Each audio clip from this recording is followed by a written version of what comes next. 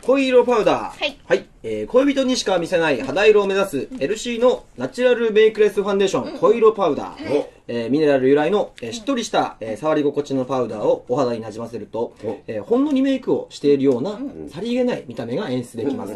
えー長い時間のデートで、なかなか、えーお化粧直しができない時や、えーラブタイムで気になる部分を何とかしたいという時に活躍しますとあいうことでございますね。すね。これねはい。じゃあこれはこれもお俺ですか？いや、でもあの、パック、あそっかパック取る取る。じゃあじゃあ僕僕。完全にはい、ささっとできるんでね。そうですね。そう、あの、この、パウダーで俺フリー女になる子のチンビをついてますよ。もうささっとできるのがいいんですよ。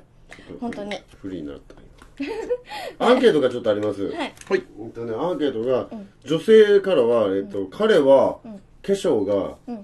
嫌いということで、うんうん素肌に何もしてないすっぴんが好きとね、んうん。勘違いすることがあるみたいなね、男性は薄付きのナチュラルな状態が好きということで何もしない。すっぴんではない。あ化粧してるけどすっぴんあに近い。確かに。化粧が嫌いって言われたら本当にすっぴんがいいのかなみたいな。あ。どどうなんですかそこのところ。いややっぱすっぴん好きですよ、うん。あすっぴんなの薄付きのナチュラルメイクじゃなくてすっぴんっぽい方がいい。あーなるほどね。がっつりは後でどうなるかわからない、うんうんお今塗っておりますじいちさんが。あらかわいいって。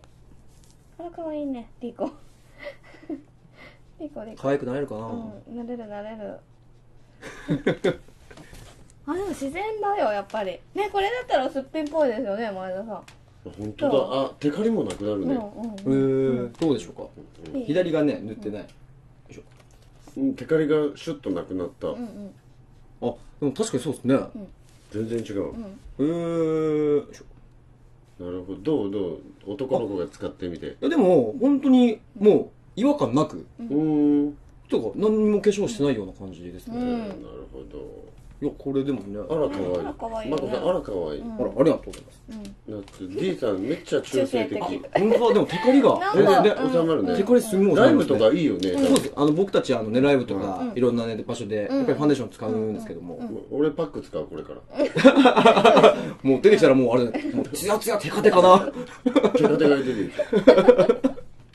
それいいね。いやいいですね。それちょっと一歩リードされたような気もするわ、いやちょっとね。まだまだ。ねまだまだ。もうめっちゃ潤いにして俺大逆転してやるから